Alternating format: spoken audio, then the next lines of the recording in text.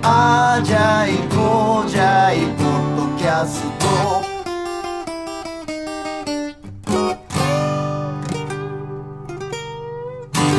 ウェイはいはい。あこんばんは。よしよしよしよしよしあ2週続けて今週もはいありがとうございます今週もただの飲み会を残っていただいてあり聞いていただこうと思ってね1週間長かったね1週間そう一週間ずっとやってるから合宿合宿合宿してから合宿毎日大変だった本当にもう水下が女連れ込んだ時はもうねあの物陰に隠れてねねずっと俺ずっとボーカル出さないようにしボーカルブースにもうずっとまあ隠し撮りしてもらおうと思ってそうそうそうそうでみどっちが全然全然明白白子の明白白子のことある白子のことある。白子のことござるっていうね。溝下の溝下様のものが白子白の子と。ござる。白子と。バカ。やめなこさい。の間あれですね。あの全部公開されましたよね。うん。マスターテープらしいね。放送ああはいはいはいはいは それをラジオで僕ら知ってる。ラジオで言うなって言うたのに早速言うてるから。いやそれ今完全に言うたんは俺か。はい。アージャイの方です。あじゃあの方か。すみません。いアージャイコージャイっていう設定なの一応。その一応っていうか設定というかまあ設定っていうかあまあアージャイコージャイでタイトルつけてもらったからアージャイ大森とコージャイみじょしたあにしてる。あなるほど。はうんいいですね。いいですね。はい。アージャイコージャイアージャイコージャイどうじゃどうじゃいでもアージャイコージャイどうじゃい。どうじゃいどうじゃいとかね。どんどん増えていけばいいよね。そうそうそう。なんじゃい。はいはいなんじゃい。かんじゃい。なるほど。それはそれでいいな。っていう。でとにかく一回告知していい？あもう先お願いしますにそう先先やっちゃってに先に忘れますか？間に合うし先週も言ってますけど、大森洋平も溝下も出演する、つまりアージャイコージャイが出演する、はい。えーイベントがございます、はい。8月23日に、えー私主催の今フェス2015ありまして、であの開演が、えー昼の1時からになってます、でこれ入場入場セレモニーあるから、はい。入会あ開会セレモニーみたいなはい。それ出てね。遠藤君が歌うんだよね。アージャイコージャイは出て。ら俺とでマスケ君はいいから。うんそう分かったでもマスケ君ディスコはディスコディスコ君はいい。柴さん。柴さんはね。さんはいるんじゃない？柴田さんあの好きやから真面目やからもう。ああそう。じゃあそこ出ていたスだいて。ンっつってはい。スンって痛いと思うよ。よろしくお願いします。本当にね。で1時から渋谷のチェルシーホテルであります、はい。皆さんね、世界中から来ていただいて。世界中から。まあチェルシーホテルっつってもライブハウスですからそうです。渋谷のチェルシーホテル。ニューヨークで本当は有名なねホテルの名そうそう。エルビス。前ですね。エルビスのね。はいはい。であの昔はあのね変なバカがあのガソリンに引火させるあそうそうそう事件になってえで渋谷の東急ハンズの向かい。向かいです、うん。でも今もう無事にちゃんとなってますから、ね。うん。でそれを殴って止めてね警察に引き渡した店長。それもバンドに出ますから。ね。あはい逆エッジあそんなことがあったんですね。はい。そうそうそう。ニュースになったんで。えーそしたらあの一番面白かったのはねフジテレビのニュースで、うん。あのー、1回しかね放送されてないんだけど、ニュース速報みたいな、うん。であまりにも気が動転したのね、茨城出身なんだけどもともと訛りがきついのにあのもう気が動転してから完全に茨城の人になっててあの犯人の様子はどうだったんですかってインタビューされて、えっ、と犯人がだからもものすげえいきなりみたいな。ガソリン持ってきてみたいなまあそんなんであの遠藤さんねあのスキップカードねはいはい。今田だから遠藤の君とか優也が仲いいの、ね。その逆エッジっていうか渋今今さんの相方みたいなもんですからね遠藤さんっつったら。そうそうあのい遠藤さんもニュースになったんでしょ？なってんの？ああ最近ね。ね。ああそう。そうそう。っていう話を今。新国立あ昨日じゃねそのえー、8月ね。スキップ目覚ましテレタリストビに出てました。遠藤さん。そう。遠藤ボス。遠藤君が図らずも時代を捉えちゃって。そうそうそうそう。こらこらしちゃって。捉えるつもりなかった捉えるつもりなかったらしいよ聞聞いたらやあのっぱり。国立競技場問題のね。そう。そんなメールがね。クソコラってやつね、それそれどういうことですか？え要するに国立競技場がさ、要するに金がかかりすぎてあの今問題になってんじゃん、でそれがいあの画像として上がってるじゃん、うん。その国立競技場の新しい新モデルみたいな、ねそれを使ったなんかコラージュさした、あのクソコラってクソコラグランプリね。みたいなやつに遠藤君がなんか出したらしくて、はなんか多分っていうかたまたま上げただけなんだよね。そうたまたま上げた。トイレの蓋に。いや遠藤するつもりもなかったよね。そうそうそうそうそう。そしたら。でタグタグをつけちゃつけちゃったのよ。つけた、はいクソコラエントリーしてもうたよね。エントリーしてもうたはいだから完全なるエントリーなんだそんなことをしたと思ってなかったのにしたら2000リツイートとかみたいなやつですね。でそのなんか遠藤君っていう名前は全く出ないんだけど、そのこういうコラージュもありますよっつって、はいはいはその目覚ましテレビかなんかにあ出た取材が来て、で遠藤君すごいねっていうのがツイッター上で一あのしばし盛り上がって。はいはいはいで遠藤君に反映されたかというと全然反映されてなかった。その残念な結果に終わったスキップカウズには。そうそうそうまああのちょっと話しててそうなのよ。だからスキップカーズにもうちょっと反映されるかなと思ったんですよね。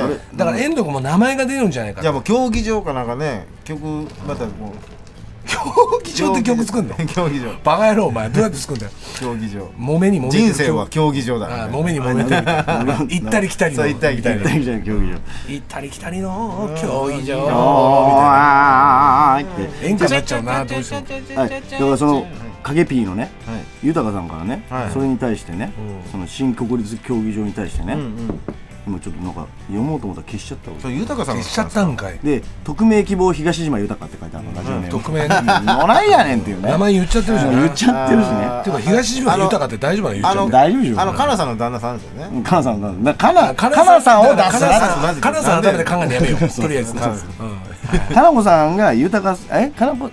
豊さんがかなこさんに怒られるから、また。また言って。またあんた、私の話したでしょって 俺らが言ってんのに。してないですしてないっていうね。まあでもね傭兵みぞっちこんばんは、メールが少ないってことで、最近はい。初めてメールします、はい。あそう。お題。爪切りない？爪切りありますよ。自由自由なの？あ読んだ読んだ。お題、え新国立競技場の建設についての今うっすら兵士ちゃってるやめてもう。やるんやったらやる。言うマイクに乗るようにやってください。お二ごめんごめんお二人の意見を聞かせてください、えーだからお三人の意見を建設について、ね。金かかりすぎまあ言うたら金かかりすぎてるから怒ってるだけでしょ？そうそうそうそう。っていうかねあのなんかそれもまあまあ情報でしかないからわ本当のことは分からんけどさ他のオリンピックのね今の歴代のやつ。俺でもその手のやつはこの30分の番組でしょ？大丈夫大丈夫。だからまあ500億とかそのそう3桁億500ぐらい。で済ましてるんでみんなね他の国はね。だけど4桁億超えてさらにそれが最初3000億とか言ってたからね。そう。それがまあいろいろあの減らそうということで、うん。で言うても2500億、うん。っていうかもうあの談合のこのシステムはもうやばいよな。でもこのまあ放送になってる時にどうなってるか分からんけど、このっていうかとりあえずさ、この間のこの間のっていうかもともとあった東京オリンピック本当の東京オリンピックね、1964年のはいはい。時に建てた国立競技場すげえ良かったよ、めっちゃ行ったし、俺サッカーサッカー好きやったから、見に行ってたあれを繋いだらすごいモテたのにね日本ねでもあもうあの頃あの頃のままののやつを使って。戦後20年も経ってないのにオリンピックやったらあの時に建てたやつがそのまままだ健在で生き生きしてますと。今でもがっつり行き来してるやんっていうのは、結構モテたよね、すごいね。っていうかそっちの方が世界的にもさかっこいいよね。かかっこいいと思うんだけどね。そうそうそう。70年。やっぱりね戦戦後70年の、まあ、うん。この年、そうああれから70年経ってもね,、ま、あれからああごその50年20年後から50年経っても半世紀経っても見てくださいこの建築物っていう、ね、そうそうそうそう。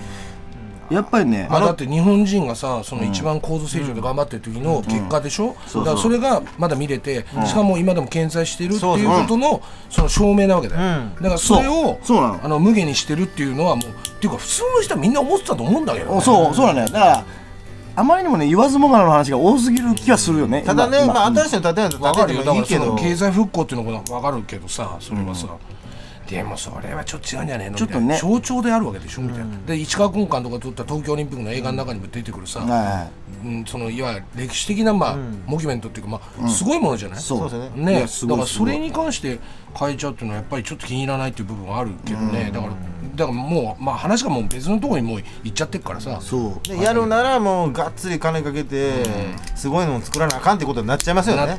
あれが中途半端に同じようなものをおよりな別の基地のね。同まあじ同じレベルのね ものを新しくなったってなったらね、うんでも金がかかりすぎてるっていうのはやっぱ問題だよな。そうだね。まあそれがちゃんともうださか我々からするとさもう分かんないお金じゃない。ら、うん。だからそこがなんか人間難しいよね。まあだから10年20年かけて、ちゃんと採算取れるようなものであれば、いくら高くても、それに対して採算取ればいいですけどいやだからそのプランがまだできてない、まずあのね他の国っていうかさあのあれが維くするだけでもよく言ってるのが、まあ維持費もすごいみたいやけど、みたいにあの使わないってことはないと思うの確かに、あのだから採算すんげえ長い話で言ったら取れるよそれはね、多分日本は、うん。ちっちゃいから。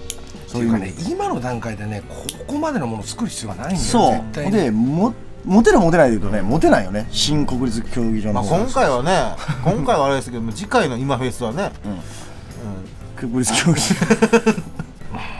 目指して。目指してな。目指して遠藤さん 遠藤さんの絵描き歌から。てかもう微妙すぎるわこの問題は。豊さんも広げづらいよ。てかこういうのは別に飲み屋で熱く議論するのは分かるけど、まあでもそういう話はしてほしいらしいですよ。なるほどね、うん。でもねだかだからら安保法制のことだってあるしさ。100年先にああ100年前でしょこんなん作ったんやって言われるような建築物。でまああればいいけどそれがこの間のうん ね前回のあれやったんですよね。だ昔のさだから日本人のさ高度成長のパワーってすごいじゃんそう。だからそういう純粋さがあんま感じられないほんでね今でも去年まで大事に使ってきた競技場が普通にあったわけやから、でもねい俺その時もいその時もは行かなかったけどなんで一昨年ぐらい行ったことあるけどさ別にあれ壊さなくていいわけじゃん、けっていうことはあるあれってさ、俺さ青春時代を過ごしてるわけ、要するに毎週歩行天行ってたから、はいはいその歩そうだよね。行天の前で国立競技場見るると国立競技場ってライブやり始めてたから、かる。もしかしたらここでできんじゃねえか将来ね。そうだって俺事務所事務所明治神宮前やったから、ね思うでしょ？見てたよ。そうだからそうやって考えるとそういう俺たちのだから例えば武道館ぶっ壊すのと一緒なのよ。そだからそれぐらい大事にしてたものじゃないの？皆さんっていうことをでも今日本問いたいってこと。結構だって渋港だってそうでしょ？もうなるわけでしょ？直す直して治らないかもしれないっていうかさあのなくなるかもしれない可能性もあるわけだからうんあれもひどかったね。あれあれもひどかったねさんはね別別にいいんだよ美味しいもの作ってくださいと。ですよ僕。多分これ P 入れられるから。だけどねやっぱりね渋谷公会堂って名前があるならばそうそういうネーミングライツしちゃいけないよ、うん。うん。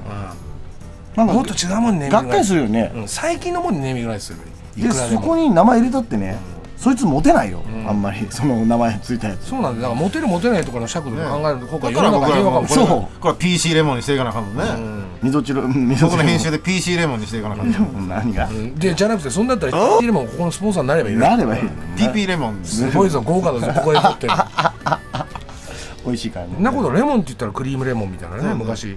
あのアニメエロアニメのね始め始まりみたいなのがあったけどさ何それ？わかんないわかんない。知らないんだ。わかんない。あ世代のね違いね。ちょちょっとだけ上。今井君ちょっとだけ上だ。はいちょっとだけとかかなりですよ。かなり。4つ。四つ。俺が4つやから3つ。僕の4つじゃない。でしょ4つ今いくつなんですか？40だって俺この間7月12日になったから44だ。あ5つだ。ごめんごめん。5つ上5つ上だっけ？俺44えお前9だっけ？9になるほんでおばあちゃん。おばあちゃんいくつです？40になるの。おおばあちゃんがねえっと91長生き長いの下北でね。えっとね。まだ早いおばあちゃんおばあちゃん泊まりますもんね。そうそうばあちゃんばあちゃんすげえ。この間も会ってきたけどさあの誕生日でお金もらったから。今でもらえるから。44優しい。歳いや俺もばあちゃんの誕生日渡すんだけど受け取んないんだよね。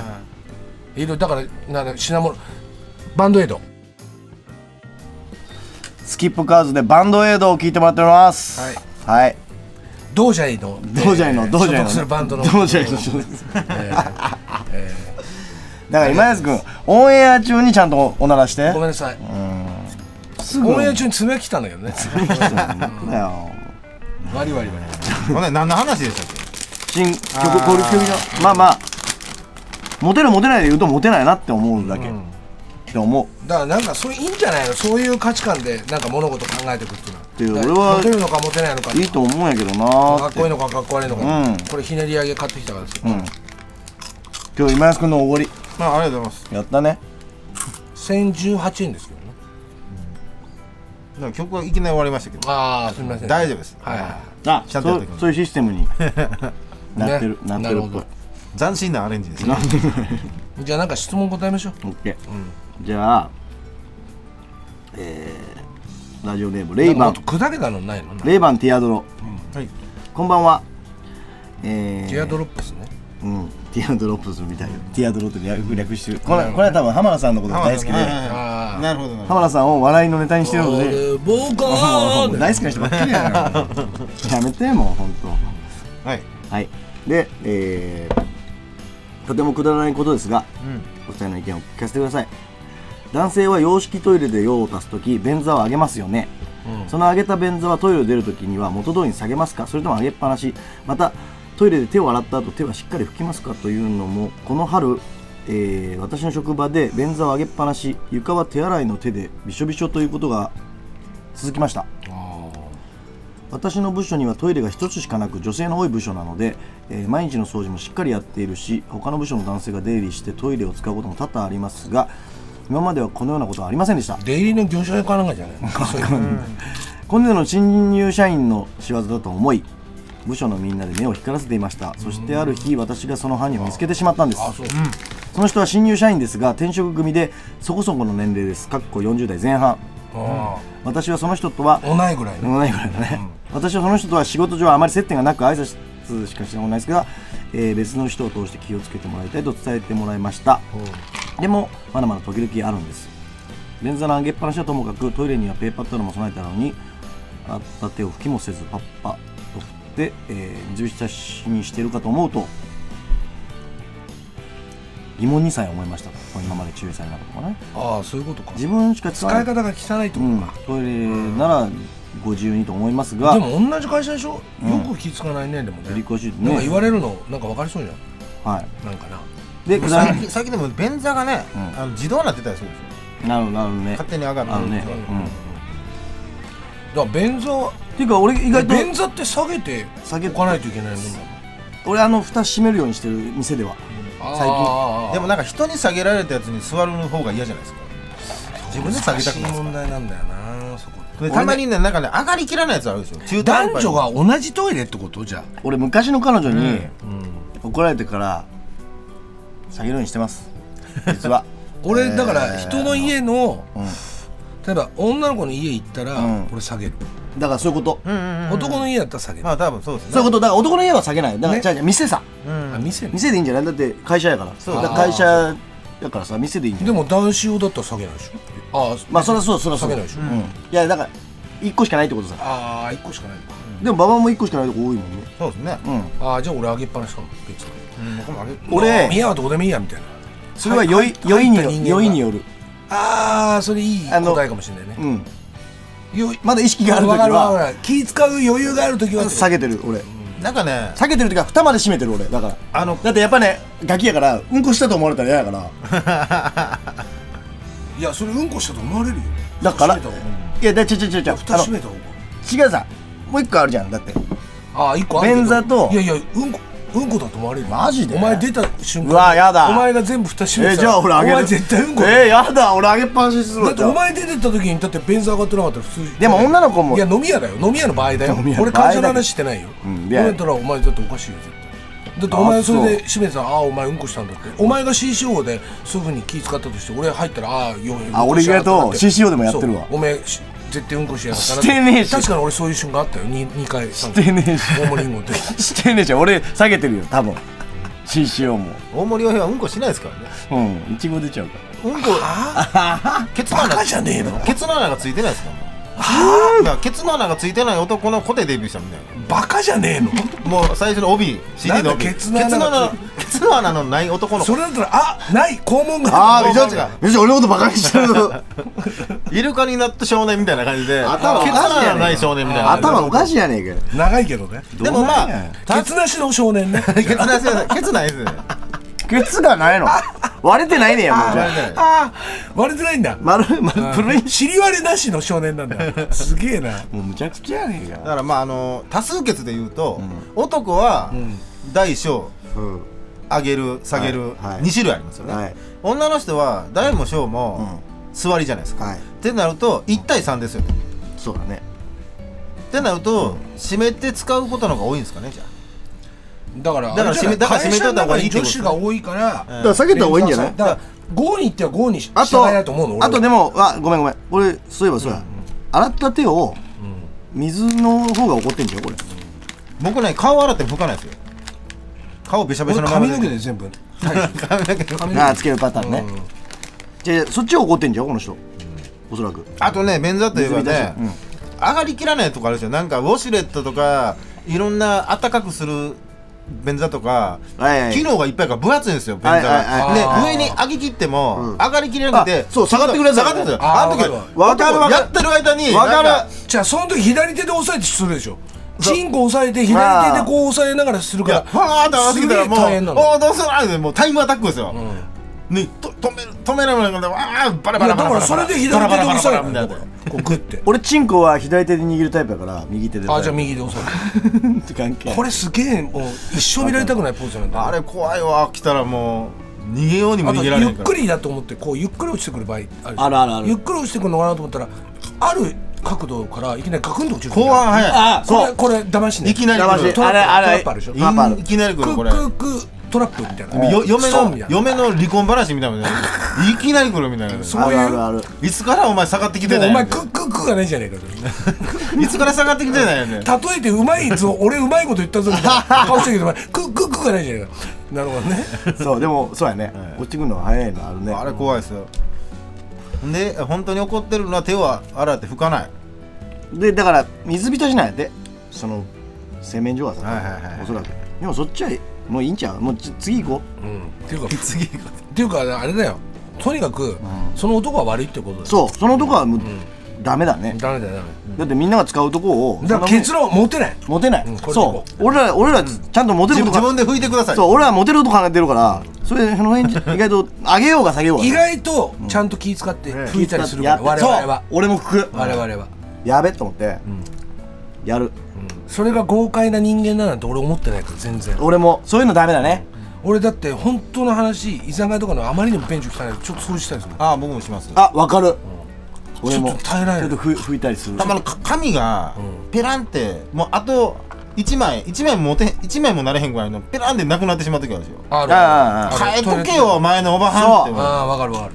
ああいうのって多分女の人の方がずるずるいっていうか僕はしっかり変えます俺も変える。そう。あのね逆にね、あのこの人に言いたいけどね、じょ男女って分かれてる便所だったら、圧倒的に女子の便所の方が汚いから、ねらしいね。これなんでかっていうとね、あの俺はねマックの掃除やってたから昔。ああ マジで。深夜。何でもやってますやねってるよもう若い頃はもう。食えなくて、えだからもう深夜清掃やった時も女子の便所ほんと汚い。ひどい。だから男男子弁の方がな好感が持てる、だって部屋の不動産とかの人に聞いてもそうだよね、え女の人がほっといて逃げたやつ。だからいろ,、ん、いろんな逃げやるやん。いなくなるやつ。そう。だからこの質問してきた女の人はそうじゃないんだと思うからね,、うん。だね。これからもそうやって綺麗を保つような人でいてほしい、そうだね、うちゃんとしてるね。まあちなみに僕はあのいつもあのウォシュレットはビデを使いますけどね。なんで？ん前かよビデの方がや優しいでしょ。そうなんや。もう普通あ押したこともう普通のウォシュレットだってもうケツにもうがっつりきすぎて押してみたかっただけ。ええ。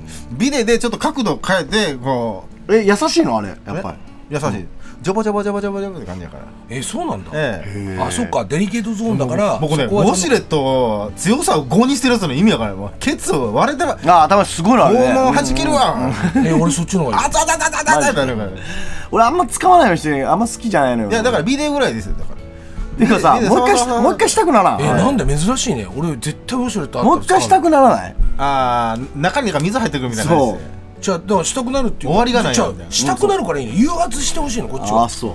あのそのでも綺麗にしてるでしょ俺の中のあ頭の中にもうイメージができてるの。もそのケツが終わってるやん。だからプロデューサーみたいなもんやね。引き出し。城壁みたいなのこうやって来てるから。俺の引き出しをもっと引き出してくれ城壁をバシッと。うん。だから才能は関係ないですよ。なんでウォシュレット才能プロデューサー俺は岩を崩してほしいだけなの。クソという岩を。こうなるほどね。ああそうそう。そうかだから俺なもう外いうあの岩を。出ないのにあれがさこうこう削れてるイメージがあるのよ頭の中に、あ来た来た来た。いいぞ。だから女の子は絶対使ってるよ、バンバン。まあそりゃそうだよね。便秘とか。だあれは便秘の人とか超救ってると思うよ。そうだね。あまあだそうそうそう。お前のロマンチックな歌声に乗せて喋る子じゃないよ。いやいやいいんじゃないですか、うん。俺はでもだって本当基本便がもうすごいから。なんだよ便何がすごい？どうすごいんですか？あのすごい出る出ちゃうのね。ああでもいいじゃん、そのだから飲み飲みすぎてシャーシャーなんでしょシャーシャーああ全部シャーシャー。万年万年切りです でも腹が張るとかってあんまないわけない。だ俺便秘そが何2年に1回ぐらいあるんだけどその時きつい。は怖い。いそういう時はやっぱプロデューサーの手を借りながら 引き出してくれと。誰やねん。だ それがウまあォシュレッ TOTO トじゃないですかじゃあ。TOTO のプロデューサー。とうとうウォシュ。その時は欧州ウ欧ォシ州ュ。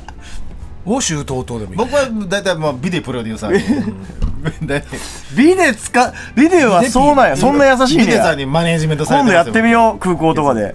ビデ俺押したことなかったわ。だって違うとこ当たったらどうしようと思うから前前とかにバー頭だったら何もないとこですよね、うん。何もないとこあったらだから何もないとこからちょっとうまくずらして、うん。こっちから寄り添っていくんですよね。プロデューサーに。あ そう。バカだな。ビデピーね。湯流湯流しちゃえなよみたいな感じでしょ。ビデ P で、今日はなんか P 入れな。がら頭悪いでな今の P を前半にじゃあ入れましょうか。何でも話いいわもう。入何の話？れなあかんとこにね。入れまあ入れろって言われたらね。言わまあそんな感じだけどね。